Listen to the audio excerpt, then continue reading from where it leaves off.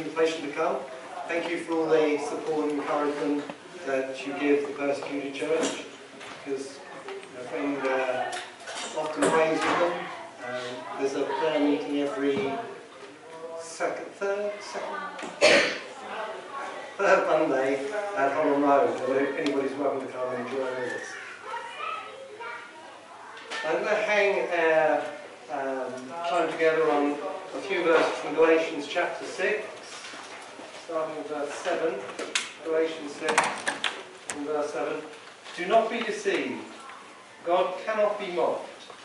A man reaps what he sows. The one who sows to please his sinful nature, from that nature will reap destruction.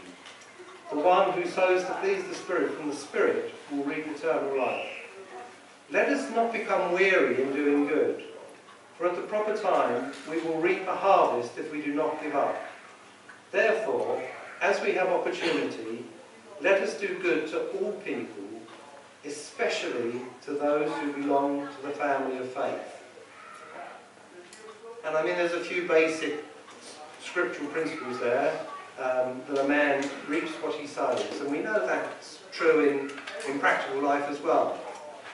And in the parable of the sower, the sower was spreading seed as far and wide, and he knew some of it wouldn't grow because it landed on the, the path or in the weeds. But he wanted to make sure he got as much crop from the, the seed as he did. And as we sow in spiritual terms, so we reap back so much more. And we're told there to uh, do good to all people, which I'm sure we do. If people are in trouble in your own fellowship, I'm sure you're rallying round. If there's new babies, probably you're taking cash rolls round to the mum and dad. Um, when your friends leave, no doubt if they need help packing and waving goodbye, you'll do that for them. Um, so it's, it's normal Christian practice, and really, as part of Open Doors, we're just asking you to look a bit wider to the wider family. And we are part of one family. We might be talking about uh, Syrian Christians or Nigerian Christians, but they're exactly the same as you and me. They've got the licorice in the middle. Acts 1.12 tells us that as many of people who received him, to those who believed in his name, God gives them the right to become children of God. And so all the people we're talking about have, just like you and me, given their lives to Christ, they've become Christians, they're filled with the Holy Spirit, and they're part of our family because we've all got the same Father. Open Door started about 60 years ago. It's their 60th anniversary. And one of the verses that have inspired us throughout is Revelation 3.2. Awake and strengthen that which remains and is on the point of death. And that's what we've been doing all, all the way. Brother Andrew was inspired to take Bibles to places like Yugoslavia and Poland. Um, and Open Doors always works with local Christians. We don't, we're not a doctor. We don't say, this is your problem, this is your cure, this is what we're going to do for you. We ask local Christians what help they need, and if we can give it, we give it in all kinds of different ways. It's interesting that uh, we've got friends here from Albania. That was one of the first, well, it was the first country that decided it would become an atheist state. And as far as the, the government were concerned, they wanted to wipe out all Christian witness at all. But we were strengthening that which remained. And when he was overthrown, they found there was still a church meeting underground. And I think it's in the 80s or 90s, Open Doors took Bibles to them because that's what they were asking for. And we're still doing that today. Open Doors started with Brother Andrew taking Bibles into Yugoslavia. We've done it in Albania, we've done it in China. Um, and last year we took in 3.1 million bits of Bible, Gospels, New Testaments, tracts to different countries around the world. We trained over 300,000 people in spiritual things, whether it's pastors, whether it's Sunday school teachers, whether it's discipleship, because there's a real need and hunger to train people to pass on the good news. In many places, the earliest Christian will be expected to be the, the, uh, the pastor. And he might only have been a Christian for a month or two months. And so there's a real need to train pastors to be able to, to share their faith. We're doing lots of livelihood and community projects. We, we train people to do trades so that if they're left by themselves, if a, a wife is widowed, she might not have any means of making a living. And so we would perhaps teach her in hair to, to, cut hair, to make dresses so that she can start her own business. And I said we did over 356,000 people were trained in different things like that. We helped in projects, maybe giving them rent so they could rent a shop to sell their wares, maybe in providing um, apple trees so they can have an, an orchard of their own, maybe giving them a cow so they can sell milk and yogurt. All kinds of different things. We spent over £2 million last year in education. In many countries, uh, not everybody can go to school. In, in places like Egypt, you have to provide your own pencils and papers, and as Christians are often the poorest in their, in their community, they, haven't, they can't do that, and so we can buy things like that. You might have to pay fees to go, and again, that will be outside the ability of many Christians to be able to do that. We provide safe houses. If a Muslim becomes a Christian, they would be challenged and threatened by their family. We met a pastor who, whose brother-in-law was an imam, and there was a real threat on his life. And he was telling about it, and all of a sudden there was a knock on the door, and everybody jumped. But fortunately, it was his wife coming back. But there's a real need for safe houses because Christians, because they bring shame on the family by changing their faith, need a safe house. We help in emergency relief, so when there's a, um, a tsunami or a flood, because we've got people on the ground, we can get money to people working there. And recently we're doing far more legal work. Uh, again, because Christians might be falsely accused, they need solicitors, but they can't afford them, so we will do that. We're doing far more trauma counselling as more and more Christians are moving from place to place, um, not through any fault of their own. They're seeing all kinds of dreadful things going on. We help to pay for children's camps. But over the years, we've learned that we're also learning from the persecuted church. Uh, and in many cases, they feel we have a harder existence because there's so much affluence. Even in China and India, places that are getting more affluent, they're finding Christians are turning away because people think they can do it by themselves. And in countries like ours, if we're successful, if we've got everything we need, why do we need God? And so having affluence and, and ease does make it easier. And often being under pressure and being persecuted makes it easier to, to follow the Lord, to depend on Him. Where the persecution is the worst, that's where God is doing the greatest things. The worst persecution ever was on Easter Sunday. Jesus was totally innocent, was falsely accused, the joke of a trial, was beaten, was eventually crucified and died, and that's when God did the greatest miracle in raising him to life. And we know throughout the Bible that when the need is the greatest, when people are at their most desperate, that's where we see God doing the, the most amazing thing. So we can learn from them from that.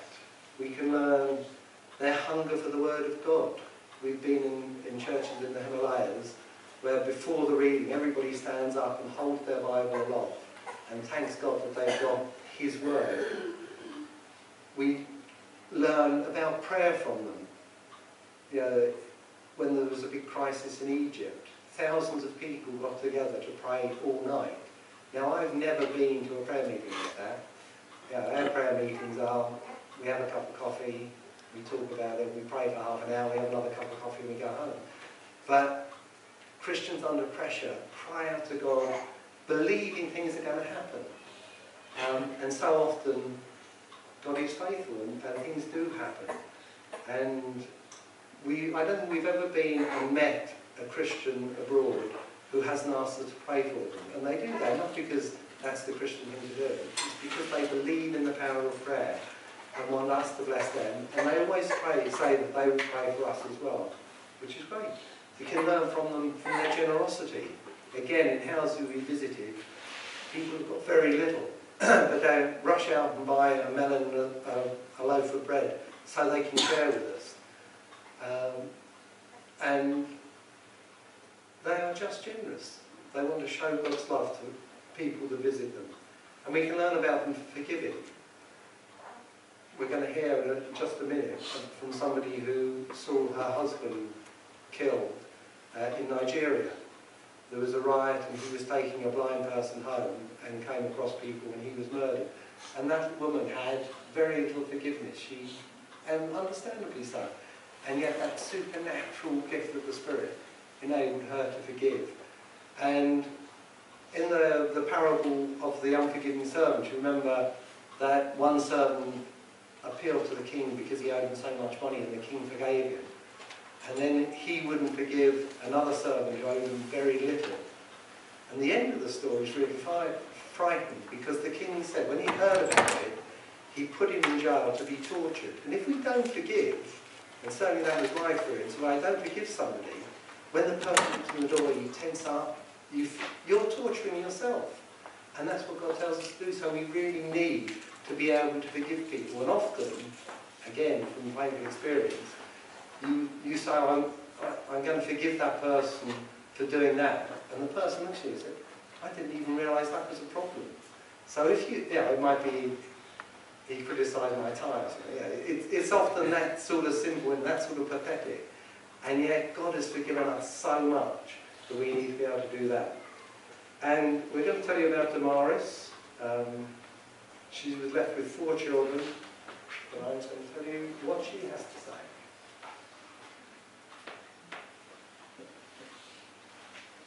Damaris says, when my husband died, I felt useless and hopeless. Then God sent two people as angels to raise me up and give me hope. I have been provided with food, clothing, school fees, and most of all, prayer. As a body, we have suffered as a result of the activities of Boko Haram. They have bombed and burned down many churches, killed many people, and destroyed many properties. I share my story and encourage the brethren to continue to have hope in the Lord, no matter what the situation. If I do not forgive, the Lord Jesus will never forgive me. So I have forgiven, and God will help me love everybody. it's not easy, but it is God that will give us the grace to love. I share my story and encourage the brethren to continue to have hope in the Lord, no matter what their situation. So there's a very ordinary person doing extraordinary things because of God's Holy Spirit. And that's like us. We're very ordinary people, but with God we can do extraordinary things. One of the, well, the biggest ever project that Open Doors did was to take a million Bibles into China on one night, which we did by loading up a, a barge, which was towed into a, secluded bay. The barge was sunk and the Bibles, which were wrapped in tarpaulin, all bobbed into shore where Christians were waiting to, to take them throughout China. It took over five years, but the, these Bibles were so sought after. Brother Lee got one, um, and before he had his own Bible, the nearest Bible was 14 miles away, so he had to cycle over to the pastor's house, read the Bible for an hour, cycle 14 miles back. When he got his Bible, he read it right through from cover to cover. The second week he did it again, and the third week he did it again, and he decided to become an itinerant evangelist. Fifteen years later, he was pastor to 400,000 people. A 14-year-old girl, we're told, planted 400 house churches. I'm guessing that took a while, but it's still remarkable, isn't it? A 14-year-old girl when she started. And if you're older than that, I don't think you're that off, because a 91-year-old started three churches in Tibet. Sister Chang was another Chinese Christian, and she felt God telling her to go and preach on the, the, the steps of the police station. and a bit like Ananias, she said to God, mm, I don't know, this is a great idea. If I do that, I'm going to be arrested. But she really felt that God was calling her to do that. So she did. Within five minutes she was arrested. She was put in prison where she made 800 converts. And at the end of her sentence, the governor called her into the office and said, there's no chance you'd stay on, is there? You've made such a difference, we'd uh, be really grateful if you would. Uh, if you do, we'll give you an apartment, we'll give you a car, we'll pay you a salary, but she felt the her to go back to her village, so she turned it down. And being in prison can make a real difference. Christians can testify by their lives and by what they do in prison. And very often they'll bring more people to Christ.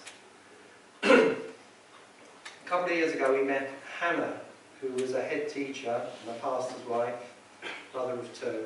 Every day, uh, she lived in Damascus, every day she would pray Psalm 91 over her class and her children which is the, the parable about um, he won't he'll put his angels to guard you, you'll be in the shadow of his wings. And they that's a verse, a, a, a psalm that our brothers and sisters really depend upon. And as a result, they don't fear death. They told their children that um, if, if they saw their killers, they should tell them that God loved them. Every day they prayed that if they didn't come back, not to be, be fearful because the next face they see will be Jesus. And lots of their brothers and sisters don't fear death. And I don't think we should either. Um, I know often we do. But if we do die, we're going to be in heaven with God. And that's got to be better than here. And that's what Paul was saying throughout his letters, wasn't he? That he wanted to stay on earth, but he knew that heaven was going to be far better. And this is, again, a truth that our brothers and sisters are facing. And this is what Hannah says.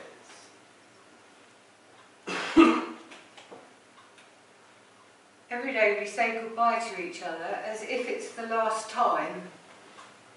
Every day we pray, please let us meet again at the end of the day. And every night we give thanks that that prayer has been answered. Every day we read Psalm 91 over our children and they use it as a prayer. That they believe it out is a great encouragement to us. We tell them that if terrorists come, not to be afraid, because if they kill us, we will wake up with Jesus, and we tell them to tell their killers that God loves them. When we met Hannah, um, not one person in her church had been killed, which in Damascus at that time was, was miraculous. And they told on several, well, certainly on more than one occasion, they felt compelled by God to go in a different direction and they missed the car bomb. Um, we met another couple of Iranians as well last year who, who have been in prison. In three years, they distributed 20,000 New Testaments in different areas of Tehran. And they didn't just go and give them willy-nilly, they would sort of go into an area, go into a coffee bar, start talking to people. And if people were showing an interest, they would give them a New Testament. Um, they were arrested, there was a, under the guise of something being wrong with their license on their car. They were put in prison, and whilst they were in prison, they did make a real difference. Uh, often, it, it seemed a whole different system, but they had to stay in prison whilst a lot of the other inmates were allowed out day by day.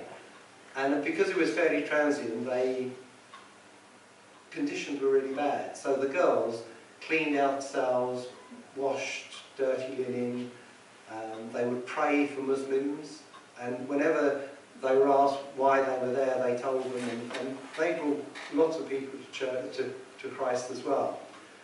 And the other big difference they had was that when they prayed, their prayers were answered. Muslims pray five times a day, but it seems really hit and miss, that if Allah is in a good mood, he may answer your prayers, and if, he, if he's not, he doesn't.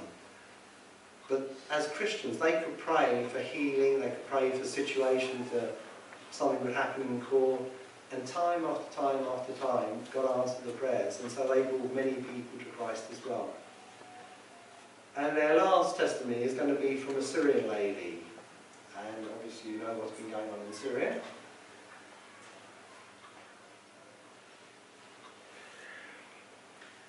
Dear brother, dear sister, I knew that the threats were serious. We've lived there all our lives. We should have left when we first heard the call of the mosque minarets.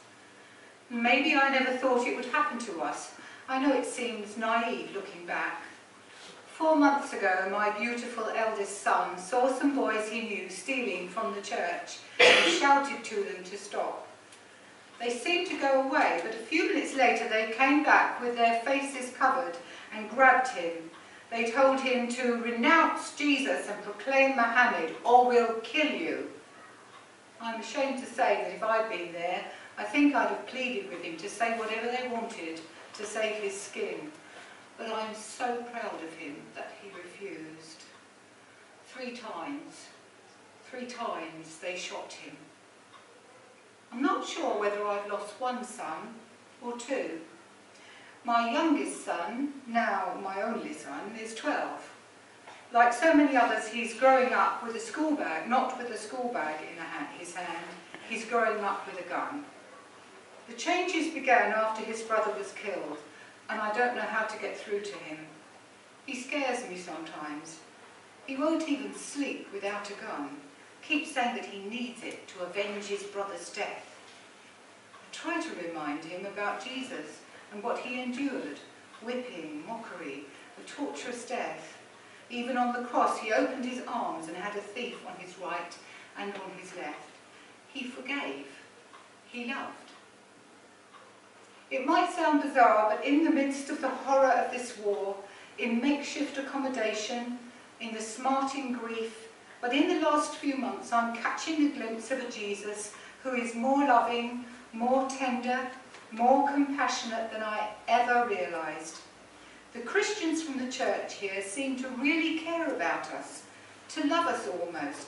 Even my son, with all his jagged rage, they give us food and blankets, cooking oil and medicines. They asked my son's shoe size and have even managed to get some trainers for one of the boys in the church. They didn't have to do that. They didn't have to do any of it, but I can hardly bear to think what I would have had to do to feed and clothe us without this help. Receiving these things so freely given is like a cup of cold water to a thirsty soul. The church here is like a lighthouse, beautifully light, in a place that is desperately dark. What touches me most is that the young couple who bring us our food, parcels always offer to pray for us. I can feel myself beginning to heal. My son usually storms out when they offer to pray for him, but today, wonderfully, he let them pray over him. And as they prayed, he began, for the first time since his brother died, to weep. There was such a beautiful presence. Maybe I haven't lost him, after all. Please pray for us. So if any of these people came here, I'm sure you would be helping them and looking after them. And with Open Doors, we can do this for our wider family. We do learn from them, we can give back to them. We can encourage them by writing postcards and letters, and we have, Open Doors has a letter writing um, program that enables you to do that. And because we've got people on the ground, you send your card to, to our head office, we send them to our people on the, on the ground there, and they do get through. The girls in prison that I told you about receive sackloads of, of letters every day, and they never saw one of them. But the guards had to go through them, and they would get these verses and say, well, who is this Jesus? What's this about? They knew they were getting them every day, largely because the guards were moaning. They also believe that made a difference, because the authority on the world, and so they couldn't do anything drastic to them, and they were released, and they now live in America.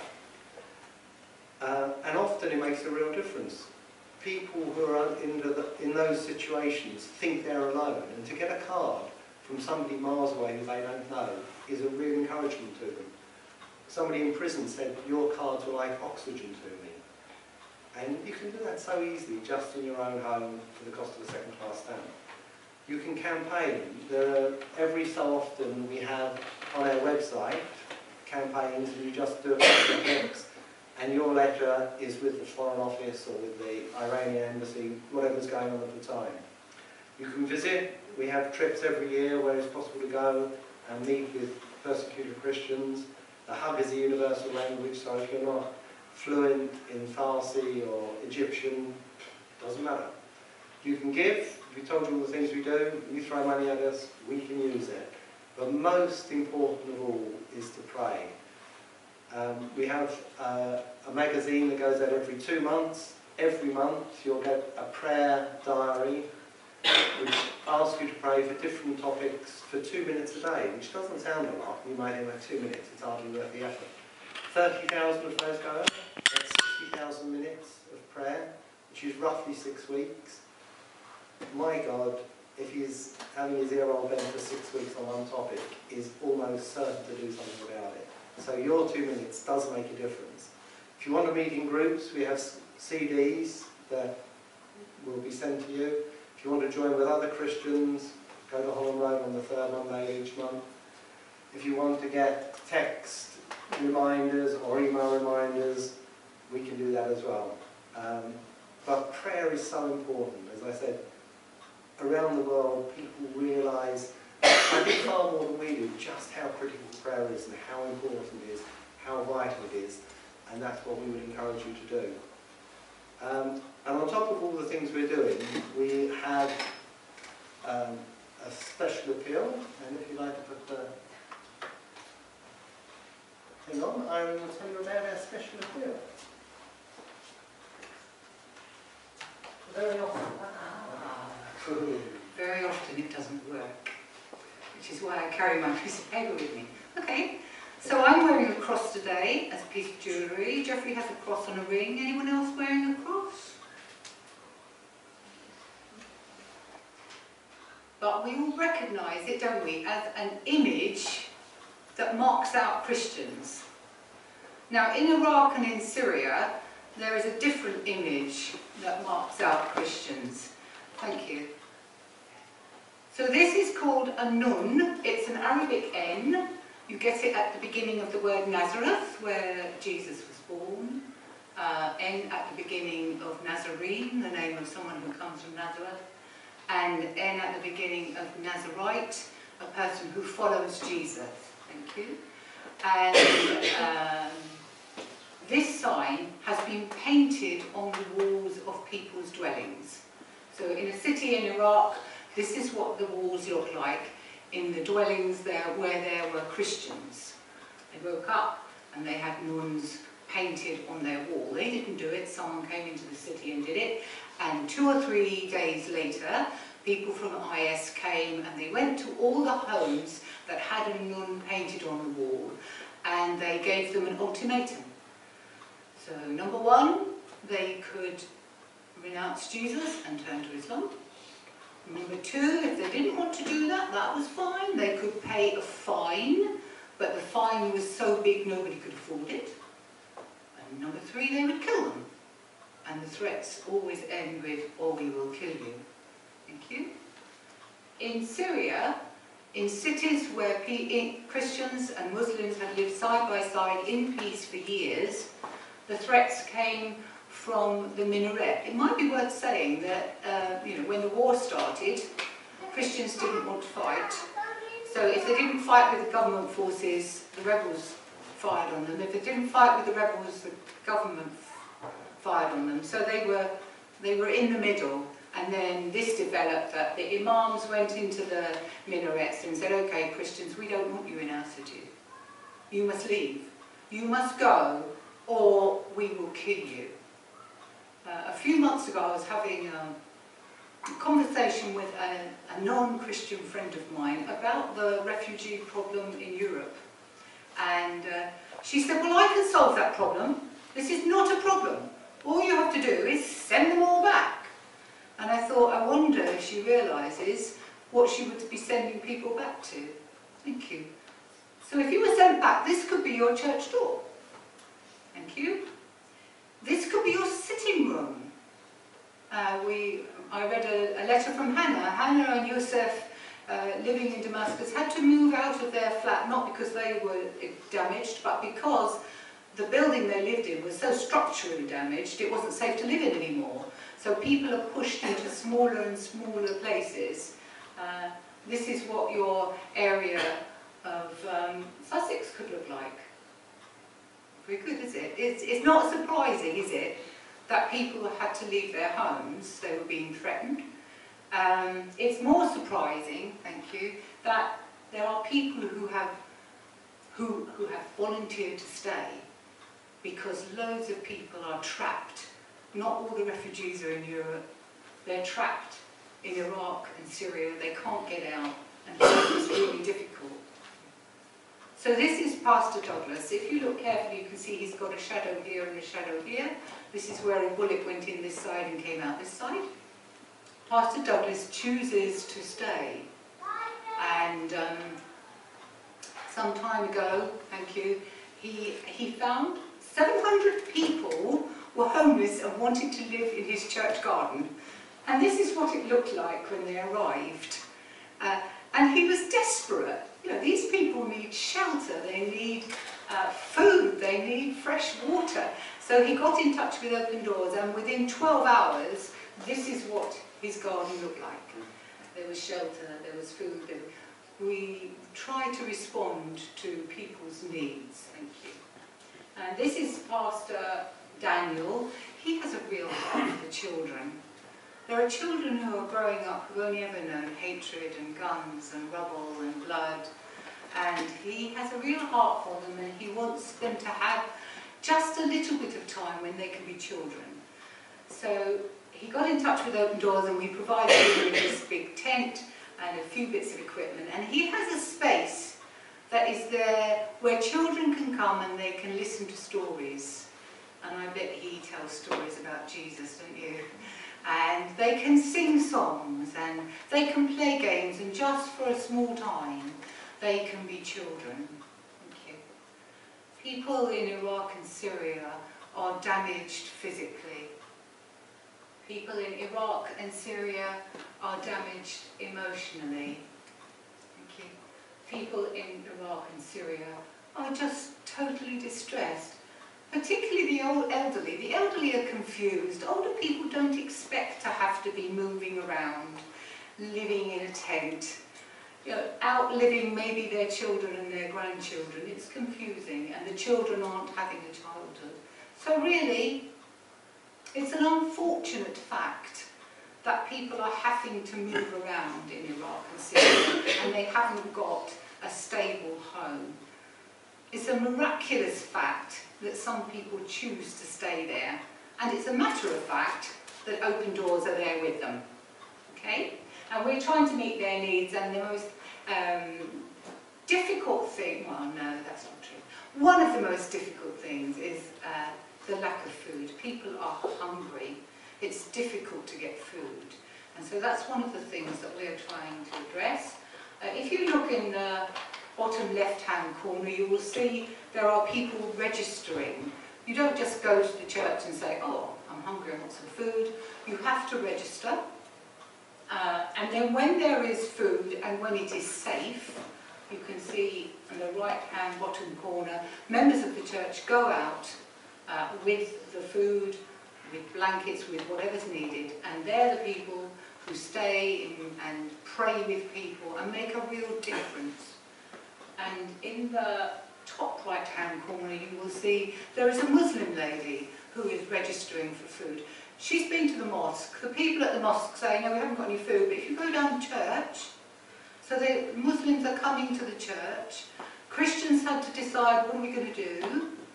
Well, when Jesus fed the 5,000, he didn't say, hey, who of you thinks you'll follow me? Mm, you can have some food. Sorry about the rest of you. He gave food to everybody. He died for everybody. He loved everybody. And so the Christians decided when they got food, they would share it with everybody. Uh, so they go into Muslims' homes, they take food, uh, they take whatever's needed, they pray with them, and Muslims are saying, who is this Jesus? Who is this Jesus who provides food for his people and then encourages them to give it away to us? And churches are running secret courses for Muslims who are wanting to know more and Muslims are coming to faith. Hallelujah. So out of all this awfulness, God can do amazing things, can't he?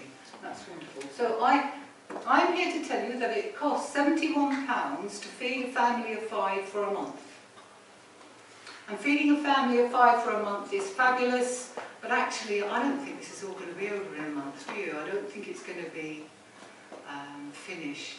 And we really need to be going on and on. The United Nations tell us they're running out of money to give food to refugees or people who are displaced.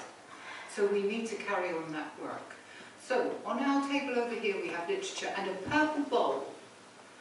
If you feel that you would like to help in any way, please plonk something in the purple bowl. No coin is too small, no cheque is too large. No one will be watching, so we won't know what you do. Uh, but we will be amazingly grateful if there's something in our purple bowl to send off to the Iraq and Syria appeal. And over on there, this is craft that I've made.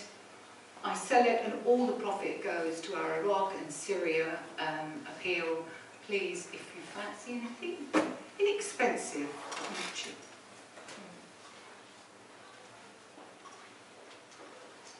So the reason we're able to do that is that we knew churches and people in those countries before the trouble started. and we've heard there about lots of displaced people. If they're Christians, there are no misplaced people. God knows where every one of them is.